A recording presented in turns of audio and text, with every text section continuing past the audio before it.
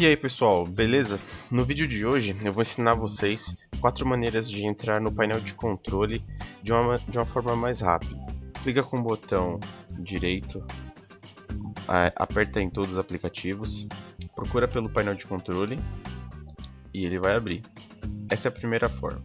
A segunda, tanto faz se você estiver na área de trabalho ou no Metrobar aqui, você aperta o símbolo do Windows mais X e aí você abre o painel de controle por aqui também.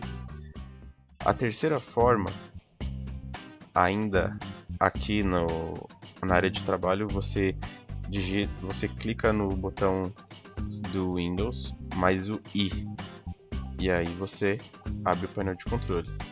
E a quarta e última forma, você abre o comando executar Ctrl Panel e ele abre também, certo?